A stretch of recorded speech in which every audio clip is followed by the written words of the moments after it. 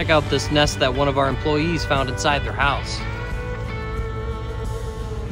Here's some facts about yellow jackets you might not know.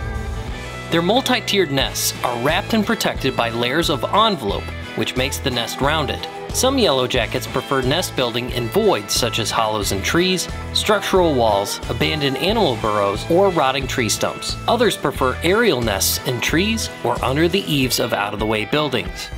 Did you know that a nest of yellow jackets can grow up to 5,000 workers or more in a single summer?